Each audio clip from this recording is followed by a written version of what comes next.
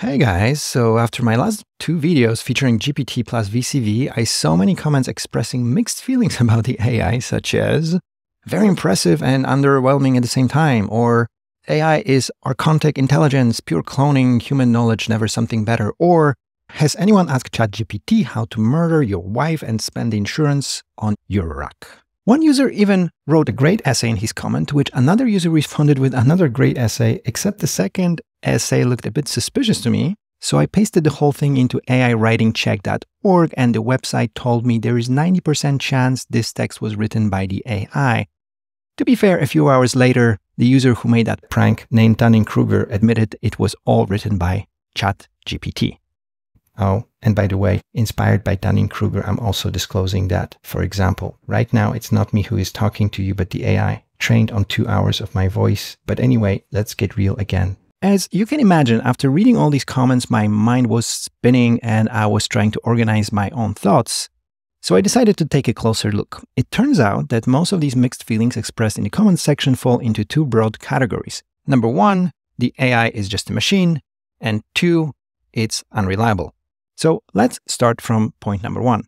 Supercharged wrote that GPT's magic is done entirely by a word prediction based on the huge amount of imported text from various sources, which is true, and that a lot of the answers you're getting are basically straight bullshit, which is totally true. Thank you for saying it. And it will lie to your face and feel no remorse. Well, it's also true, but here's what really grabbed my attention remorse. Interestingly, that was not the only comment that mentioned remorse. And to be perfectly clear, I'm not trying to mock any of the comments mentioned in this video. In fact, I was really impressed by their quality. Most of these comments resonated with me. And they also got me thinking Have you ever heard anybody complaining about Roland 303 bass machine having no remorse? Or accusing Behringer emulations of lying to your face, impersonating that people, and straight out identity theft? I guess not, right?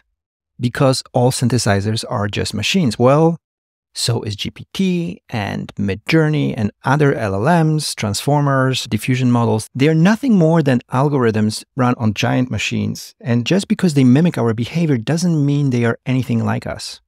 So here's an idea. Maybe we should talk about deep learning products the same way we talk about modulars. Yes, I'm trying to compare AI to your synthesizer, but please hear me out. Remember all those days when you start patching from scratch in your Eurorack cave, building and expanding your blinking spaghetti into this truly impressive generative masterpiece? Everything is under your control until at some point you stick one more cable in a weird place and suddenly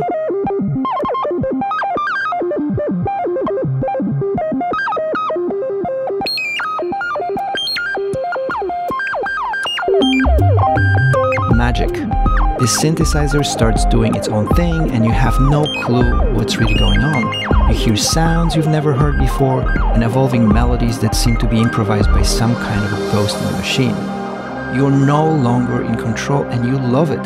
You feel like a wizard who just conjured something truly, truly special. You sit back, grab your wine glass, listen to ever evolving sonic landscape, and you can't shake off that wonderful feeling that your beloved Eurorack is now fully alive. And yes, you know it's just a machine, but in that moment, it doesn't really matter, does it?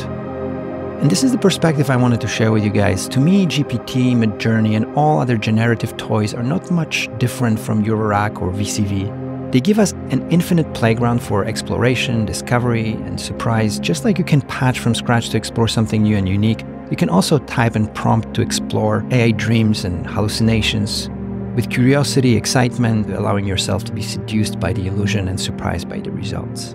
In other words, what I'm trying to say, AI is the new synthesizer you can play to generate new thoughts, ideas, images, and yeah, music and sound design are catching up quickly, I'm afraid, but that's another topic. I think I might even try to cover some of that stuff on this channel in the future. But for now, let's jump to point number two. AI is unreliable. Paul Pomeroy wrote, a big problem with ChatGPT at the moment is that it gives wrong answers with as much eloquence and sincerity as it does correct answers. By the way, Paul is a great guy. A couple of years ago, he made a really awesome tutorial on Behringer uh, 2600, which I shared with my students. Check out his channel. Um, and hey, Good to hear from you, Paul. What's up?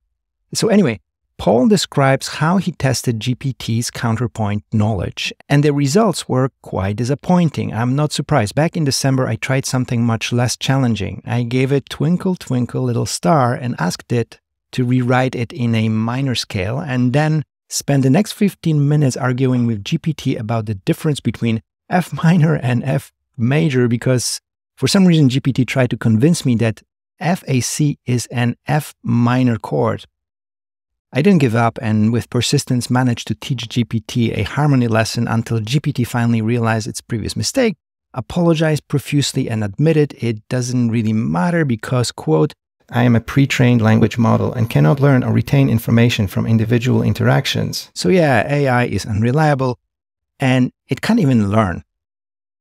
But this time, instead of me ranting for another two minutes, I will simply share with you some excellent links that you should check out about the subject. First, you should definitely check out Ezra Klein podcast from January 6th, where he interviews Gary Marcus. Uh, this episode's title is A Skeptical Take on the AI Revolution, and I link it in the description. Seriously, it's fantastic, nourishing food for thought. Don't miss this one. I promise you will enjoy that conversation. You should also check out this video posted by Sentdex recently, where he's showing GPT writing another version of itself. He's trying to pretend he doesn't know anything about coding, and just like in my video, GPT kept making mistakes. It was constantly screwing things up in his video. But by simply being persistent, he was able to achieve his goal. I think his example shows that if you're persistent, even with a significantly unreliable AI, you can already get a lot of mileage from a human machine duet. And finally, here is yet another link. It's still in beta, but it shows how to complement GPT bullshit generator with a respected Wolfram Alpha computational intelligence. What they built there is a version of GPT that can recognize questions that require math, logical thinking, solid science, and real knowledge.